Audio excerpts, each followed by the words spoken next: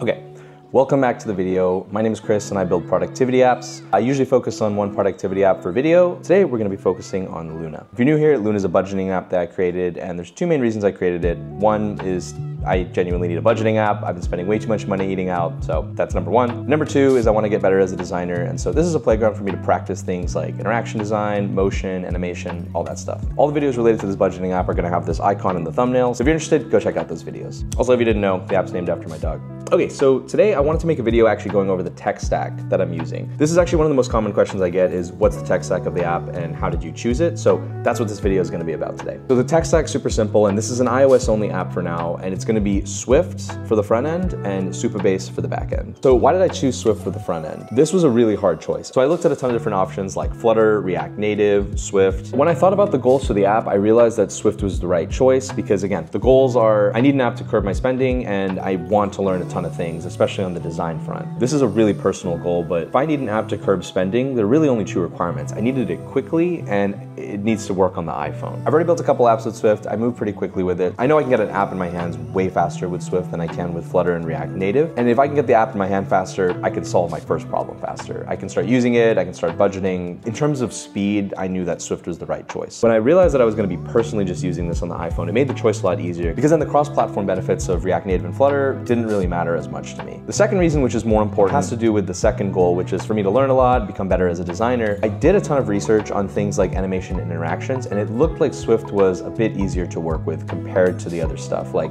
React Native and Flutter. And I'm talking about things like complex drag and drop or very custom page switching animations. It's definitely possible with React Native and Flutter, but Swift made it look really easy to pull off. And as someone who's just a beginner and trying to learn these things, easier is probably better. Okay, so why did I choose Supabase, especially over Firebase? For context also, I've used Firebase for borderline every other app that I built. I can move really quickly with it. I'm super comfortable with it. Why would I choose to move to something else? And it really has to do with the second goal of the app, which is to learn as much as possible. If I go with something like Firebase, which I feel like I've really pushed it to its limits for my apps, I feel like I really wouldn't learn as much compared to if I pick something new like Supabase. Even though the speed is gonna be sacrificed here, I feel like the pro of learning a ton of new things is gonna outweigh that con. And here's an example of what I mean by learnings, by the way. So one of the biggest differences between Firebase and Supabase is that Supabase is a SQL database. I don't really have much experience working with SQL databases, but I know they're really powerful and have a lot of benefits over a NoSQL database like Firebase. So this will be a good experience for me to learn how to work with that type of database and see the benefits firsthand. So yeah, that's one example of what I mean by learning. So let me go over some common questions I'm probably gonna get. Why did I choose to use Supabase instead of, you know, using Postgres directly or something? The answer is really to save energy. But I'm a really big fan of these managed services like Supabase and Firebase because I don't have to worry about a lot of stuff, you know, and I can use that energy on something like 10% more effort on the front end or something. I just wanna save energy wherever I can. So the managed services are great for that.